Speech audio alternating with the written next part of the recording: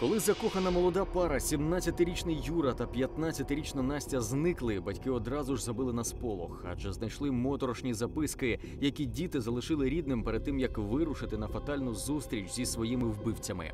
Якщо їх не буде до сьомої години, то у першій записці вказано, що їх замаринують, а в іншій записці вказано, що якщо їх не знайдуть до сьомої ранку вже наступного дня, то тоді їх розшукувати по координатах. Координати нам показали, от прямо в'їзд, табличка в підгірці. Дітей заставляли займатися наркоторгівлею, розумієте? Підлітків знайшли тільки через два тижні, закопаними в лісі. Те, що сталося з дітьми, просто не вкладається в голові.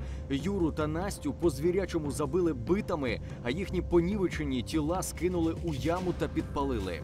Було встановлено, що до даного злочину злочинці готувалися, напередодні вирили яму, підготували е, біту, підготували скотч, підготували бензин, які в подальшому використали.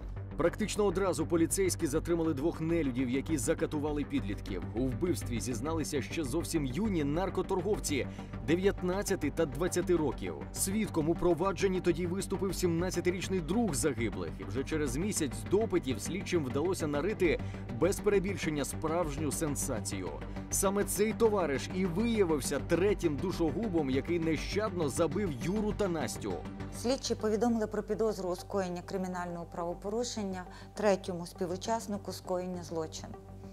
За рішенням суду 17-річного львів'янина взято під варту. Про мотив надзвичайно жахаючого злочину у поліції чомусь і досі не говорять. Відомо лише, що і юні жертви, і їхні не набагато старші душогуби розносили наркотики по так званих закладках. Та який сумний жарт долі. Уявіть лише напередодні страшної загибелі 15-річній Насті вдалося побороти рак.